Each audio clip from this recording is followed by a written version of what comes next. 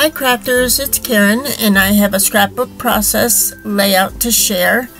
I used the um, paper collection from Crate Paper Cute Girl. It is the sweetest um, collection. And I intended to um, scrapbook those pictures of my granddaughter Alyssa. But I did supplement what I had for the Cute Girl collection with the Crate Paper Hello Love paper stack. I don't have any 12 by 12 papers to go with the cute girl of the cute girl collection, but um, I did find that a lot of the colors and see those like sketched hearts there of the Hello Love collection. It all works really well with the cute girl Crate Paper collection. So that's what I did. And then um, I decided to use that striped paper that I just showed you there as inspiration and I decided to create my own background paper. This is something that I've been wanting to do for a long time and actually um, I, I love the way it came out but it came out very bold because I did use acrylic paint instead of watercolor. So I'm using these uh, what's the name of them? The Fine, Touch, Fine Touch acrylic paints uh, from Hobby Lobby. They're very affordable. They're like $2.99 a tube. Um, so I'm using those acrylic paints and this my paintbrush and I'm using a metal ruler here just to keep my lines rel relatively straight. I'm not going to be overly concerned with them being perfect because I don't want, you know, I don't want that perfect look, obviously. Um, I do want them to look kind of sketched out, you know. And do you see, uh, because it is acrylic paint, uh, the colors are, are very bold. Almost, it, it turned out to be too bold for me to use those pictures that I showed you in the beginning of Alyssa. So maybe if I had used my watercolors, um, it might have uh, worked out better to use those um, other pictures. Anyway, I'm using some pink acrylic paint now um, to create splatters. And this pink is, I think, from Folk Art. I'm not sure. But it was a perfect pink to match this cute girl collection. And see right there, you can tell my lines are not straight. I mean, they definitely are tilted there a little. But um, I think it came out very cool. And I did use some of the ocean colored uh, fine touch acrylic paint as well. It's like a minty blue color. Um, just to break up some of that black a little bit. So that was another reason why now those pictures don't don't suit that background. So I had to look for another picture that would work and I have this picture of me and my mother and I'm thinking that would work. But then I found this playful one of Joe playing with Alyssa and this is just a really cute picture because I, I took a bunch of pictures when he was playing with Alyssa, he kept flipping her upside down and she wasn't giggling or laughing or anything. She was just looking around upside down. I mean, she just liked that sensation of being upside down, you know what I mean? She wasn't like wrestling and all this stuff. She just wanted to be upside down and have a conversation upside down.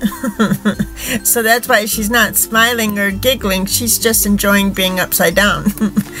so it was very funny. So anyways, that's the photo I decided to go with um, because the pictures in that photo um, worked really well with these, with the black and the bluish turquoise um, mint color there in my in the background and in the photo. So, so I used my border punch. I don't know what that one is, but it's like a notebook type punch. And I used it um, on the top and on the bottom left just to give a little playful, playful, um, you know, element to the layout. You know? So I like that effect and it brings in more of that black border.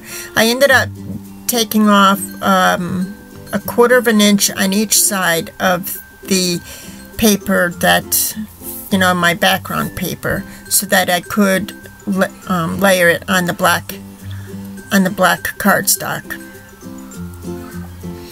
So here I'm going to um, start layering my paper and I'm going through the Cute Girl 6x6 paper pad and I decided that this pink cardstock that I have from Recollections um, would work better behind the photo because of Alyssa's shirt.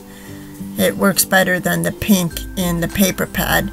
And then I wanted to use that um, that triangular uh, green blue uh, turquoise color and that black and white sheet of 6x6 as well in my layering. And I took the border punch to the pink sheet and this sheet here the black and white sheet just to tie in that um, playful element on on my layers. You know just for a little bit more interest I guess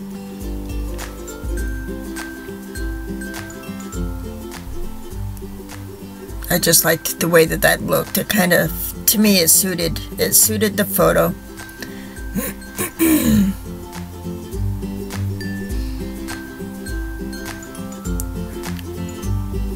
so the, the pieces that I had cut off of the my background paper, I was going to use them as borders on the top where that large white space is, but I decided against it.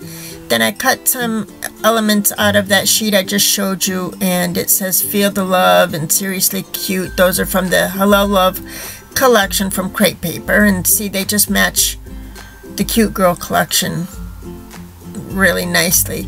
So I'm thinking I, I need a strip of white, or I'm sorry, not white. I need a strip of pink behind my photo just as a, um, just as a little shelf or what have you, you know, just as an anchor for my uh, photo in my, in my photo mat.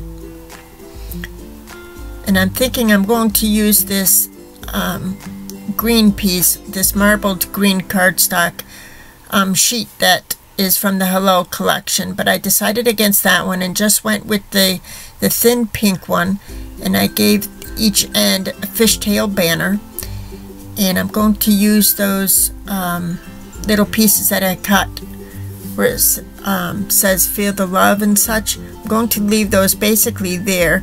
Now I'm going through the cute girl ephemera and I'm going to pick out some pieces that would work work real well. And even though this is a really cute picture of Alyssa um, I've got to remember that there is a man in this photo. So it can't be overly cute, you know what I mean? I, I can't put that unicorn on here. Um, you know, I gotta balance out the cutesiness just a little bit.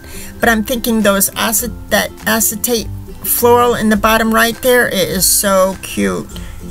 And I was gonna save it for another layout, but I thought, what other layout? So I'm just gonna use it up. Now I'm going through the um, chipboard um, stickers and I could have used so many different ones from this um, you know the houses. I could have used the houses and and such but I decided to just go with um, a couple of these horses er, horses. My goodness. Um, hearts. I'm using some dimensional foam uh, backing to give my photo dimension. I also am using that um, see that light blue frame or that turquoise frame, light turquoise frame in the bottom left there. I also took that from the ephemera pack and I'm gonna use it in the bottom right corner of my, see, there.